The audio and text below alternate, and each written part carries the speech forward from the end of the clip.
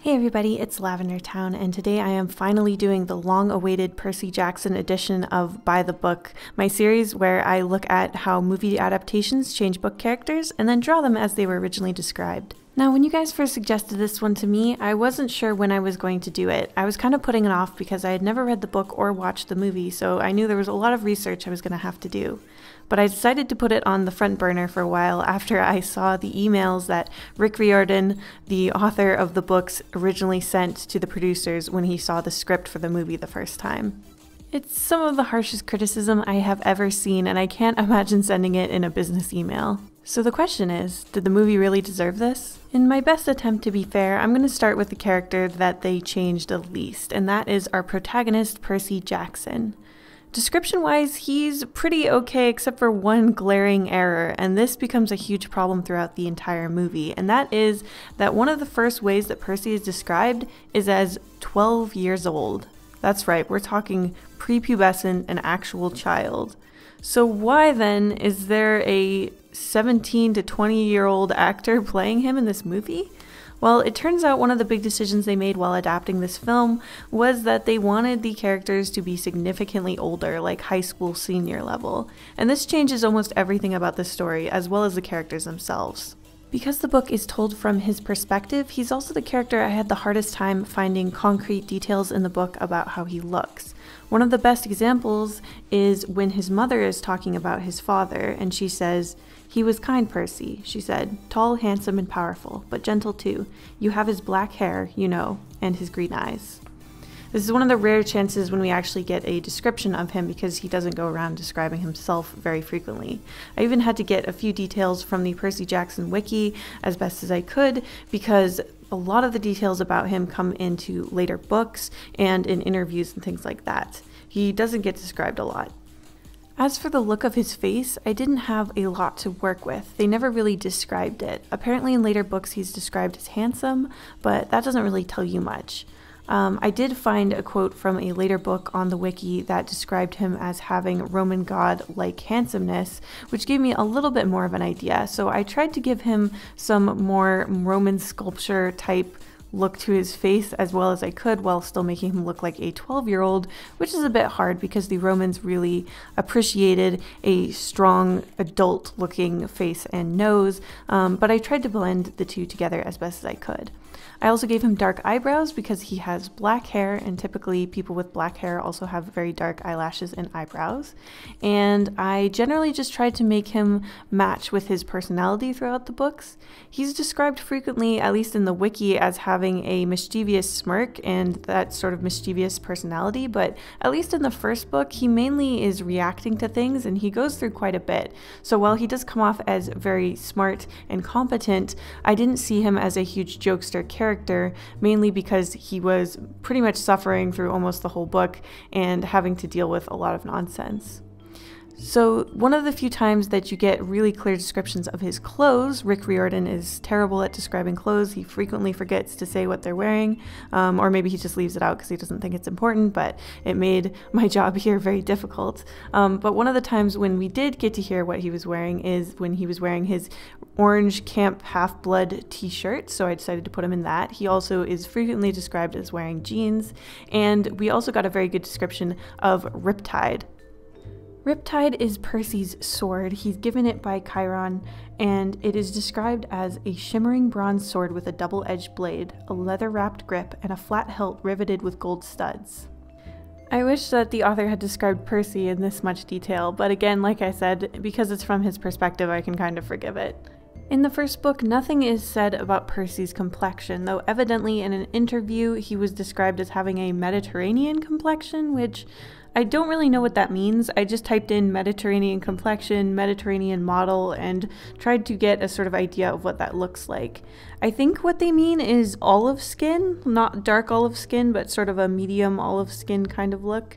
Um, and that's all I had to go with, so that's how I colored his skin.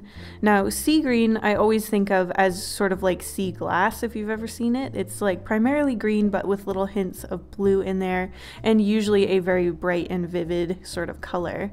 Now, this is one of the things that is very hard to do in a movie, and even if they gave the actor sea green contacts, I'm not sure if it would have looked good, so I can't criticize too much about this, but since we're trying to match the books perfectly, I'm going to give him true sea green eyes. This is something that I think some people misunderstood when I did my first uh, by the book on Harry Potter. A lot of people thought that I was like criticizing the movie makers and criticizing the actors and actresses for not looking exactly like the books. I'm not trying to do that. I understand that like realistically movies can't have their their actors and actresses look identical to the books. I'm mostly doing this series because with drawing you can get it really close and that's kind of what I'm trying to do here. Um, but all that aside, here is the Percy that I vis- envisioned based on the description that I had in the book. He's obviously considerably younger than the actor that they used. That was a creative choice, um, one that the author was really not happy about, and I think a lot of the people who read the books were not happy about either. But other than that, we were mostly there. Um, he had black hair, it was longer black hair. He had blue eyes, which is close to the sea green that we're looking for, and other than that, Percy isn't described in a lot of detail, so they mostly get off the hook for this one. His personality was also mostly the same. Next up is Annabeth, and here is where things start to go really downhill.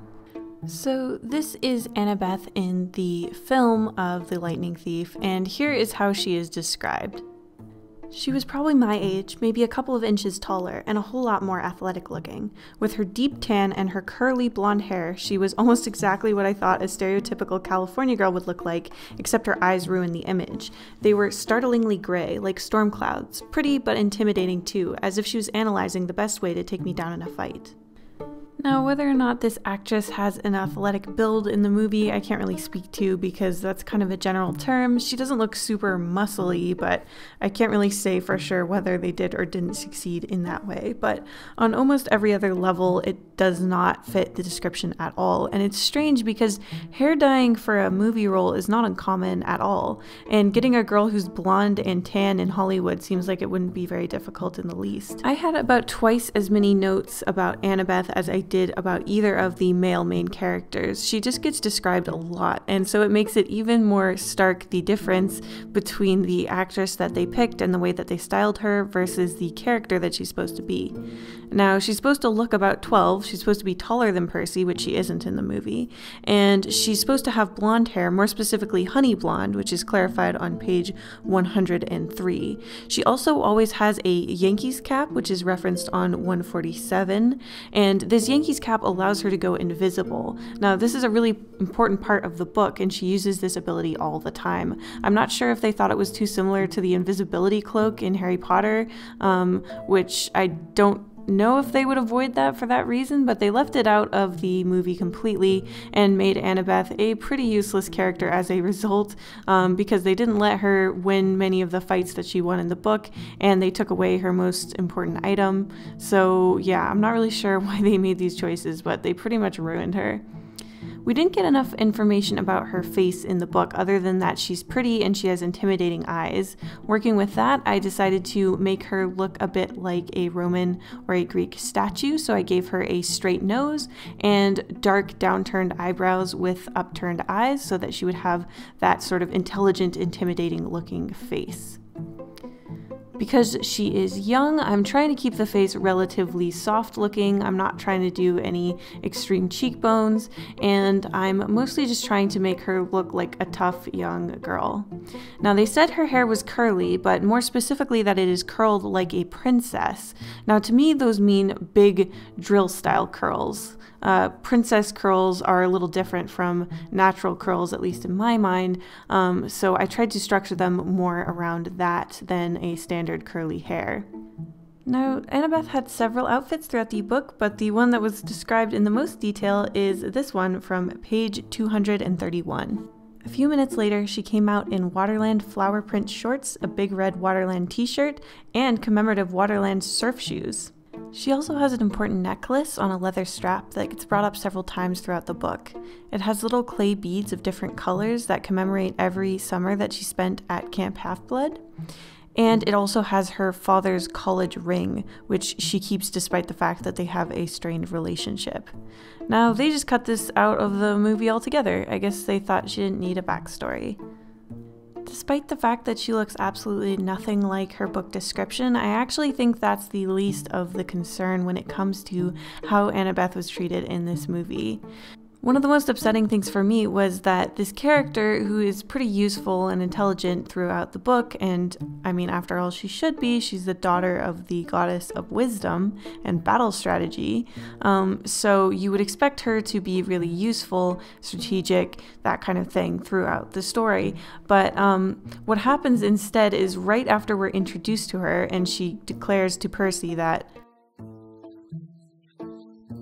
she is immediately bested in combat by him, even though she's been coming to this camp every single summer since she was seven years old, and all she does is train and train and train. And even though she's the daughter of the goddess of battle strategy, She really is no match for Percy, at least in the movie version. And it really takes the steam out of the whole team, especially when she later says that Percy needs her when he's going on his mission. I mean, it doesn't really seem like it because he was able to take you down with almost no training, and he didn't know anything about his powers really at all at this point. Um, but sure, Annabeth, I guess you can come on the road trip. I don't mean to sound so salty, but Book Annabeth is actually like a pretty decent character, so it kind of hurts me to see her done like this. In order to make her look athletic, even though she's relatively young, I tried to broaden her shoulders a little bit and I gave her more definition in her legs and her arms. You can't go too nuts with this kind of stuff when you're dealing with a young character because you'll make them look crazy. Even the fittest kids are not going to have bulging muscles until well after they hit puberty, so definitely don't go too ham with a character who's supposed to be 12 or 13. I made sure to give her beads all special attention because there were a few points in the book where they specifically said what was on the beads and what color they were. Uh, the white bead with the pine tree was the most important one so far, um, so I made sure to incorporate that. Though they ended up being so small, it was kind of hard to put on all the stuff that it said in the books was on the beads.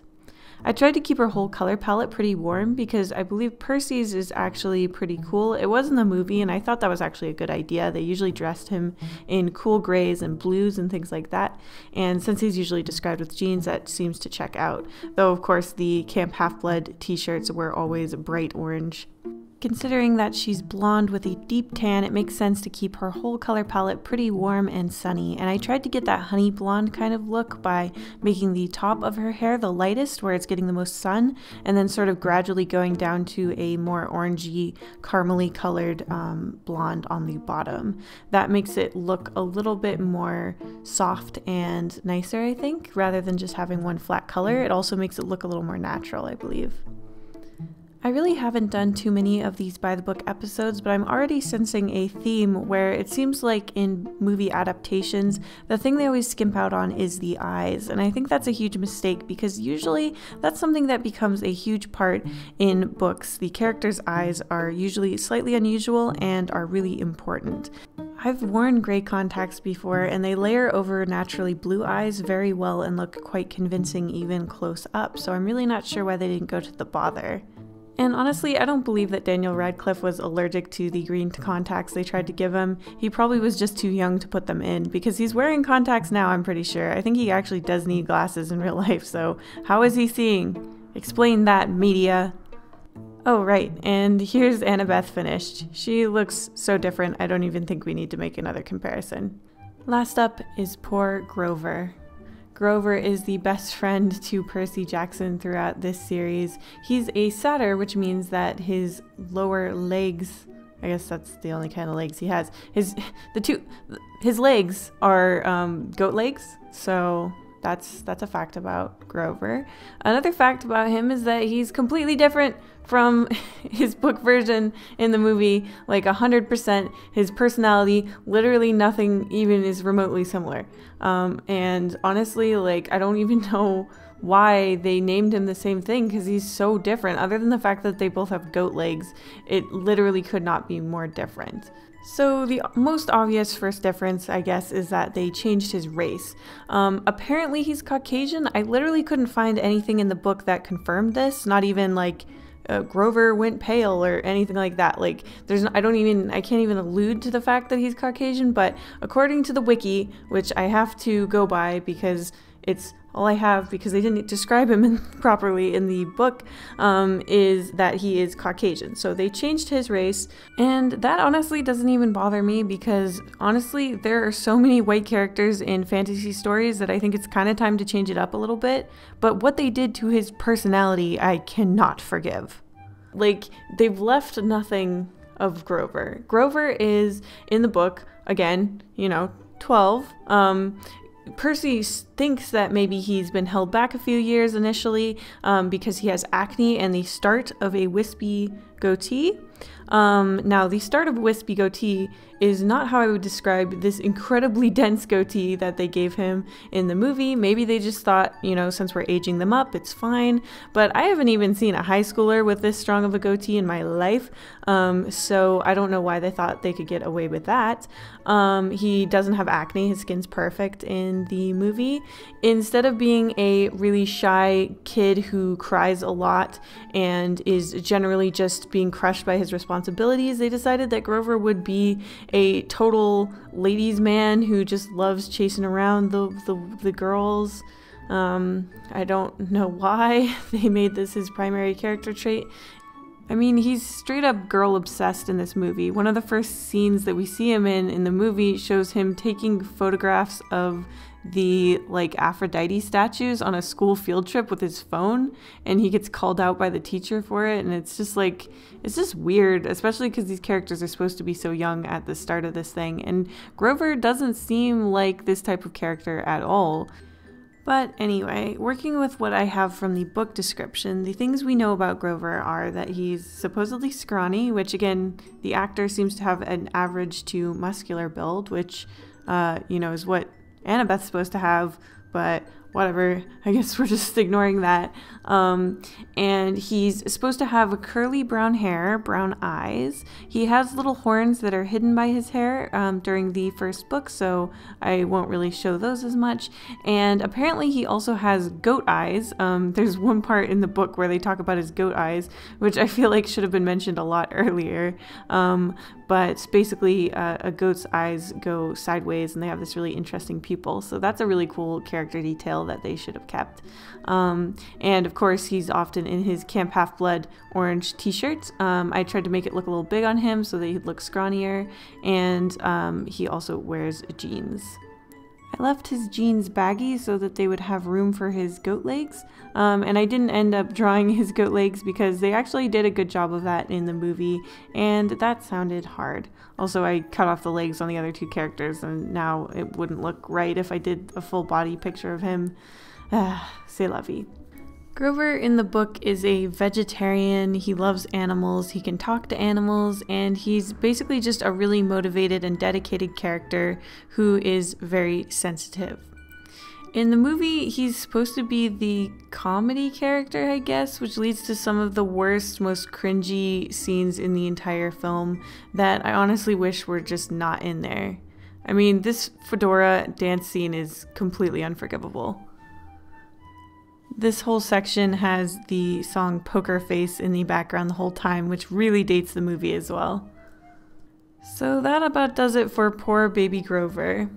I hope you guys enjoyed this video. Thank you so much for watching till the end. I'm going to be doing a live stream this Sunday to celebrate us hitting 600,000 subscribers. So if you want to come to that, it will be uh, starting at the time shown on the screen. And if you have notifications on for this channel already, it will also notify you so you don't have to worry about missing it.